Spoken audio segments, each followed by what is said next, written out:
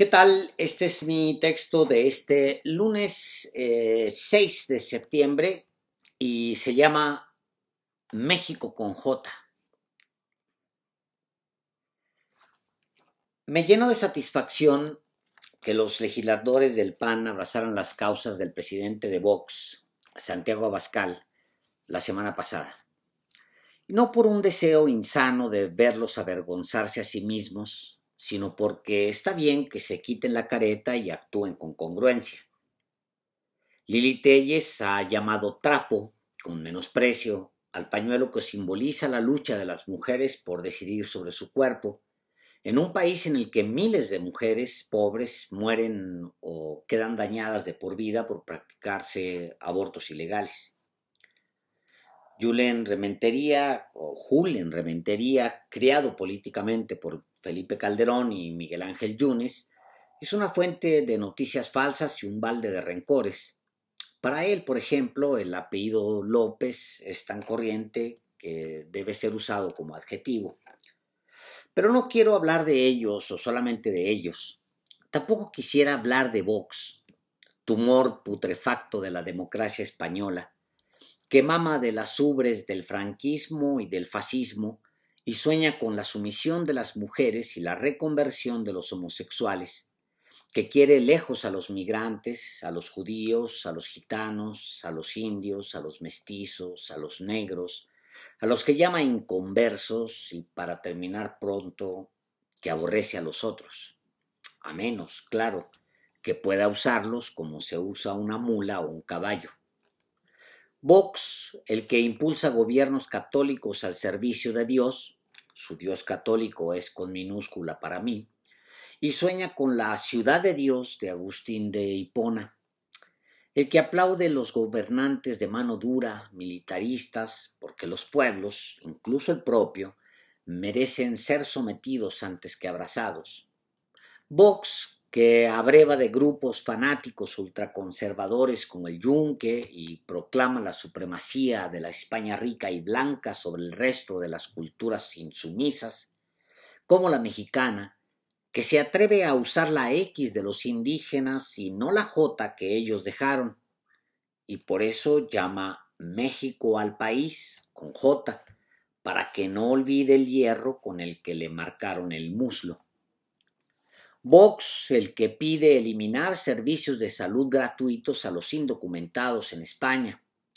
Vox, el que exige tratar como terroristas a los migrantes sin papeles.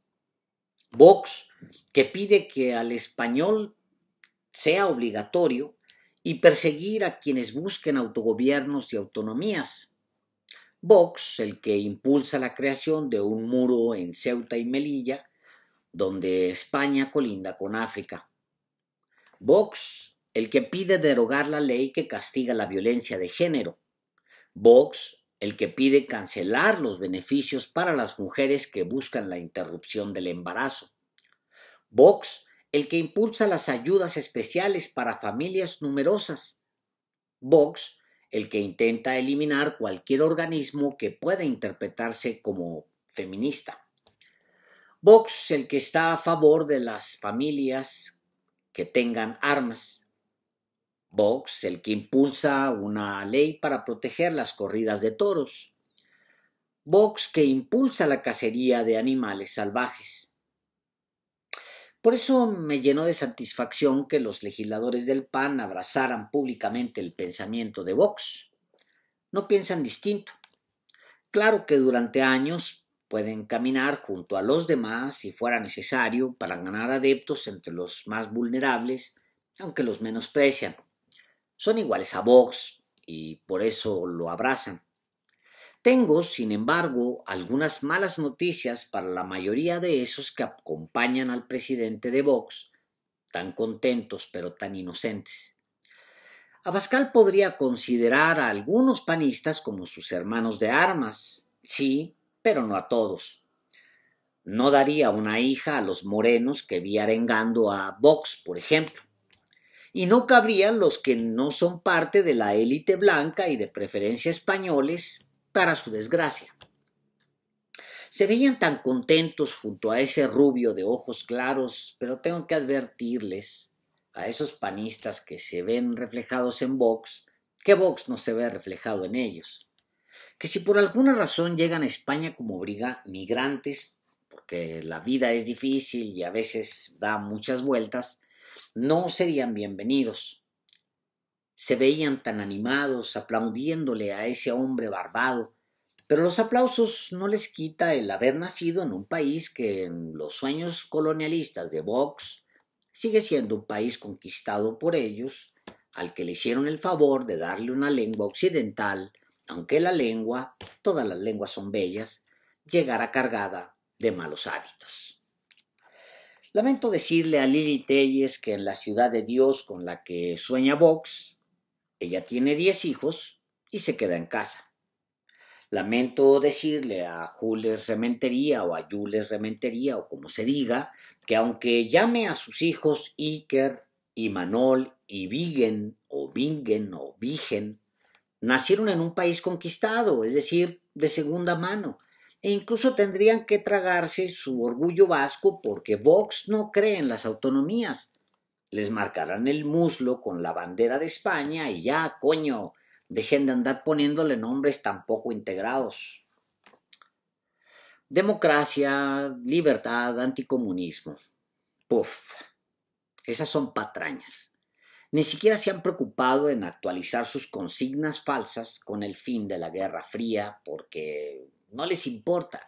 Son nacionalistas españoles, creen en Franco y en un Dios católico excluyente y ambicioso, en ese orden, y todos los demás, panistas arrimados, son carne de cañón. Son un medio para su fin y ya. Está bien que se hayan abierto, Está bien que digan quiénes son, cómo piensan, qué les mueve, porque van por el mundo hablando de humanismo y les garantizo que ni siquiera saben de dónde viene esa palabra que han prostituido. Me lleno de satisfacción que abrazaran las causas del presidente de Vox, Santiago Abascal. Pero les debo advertir que el presidente de Vox los abrazaría por pragmatismo y frente a las cámaras, y al volver a casa se habrá bañado con loción porque por dentro, así es su ideología, los aborrece. Lamento decirles que así es, señoras y señores panistas. Muchas gracias.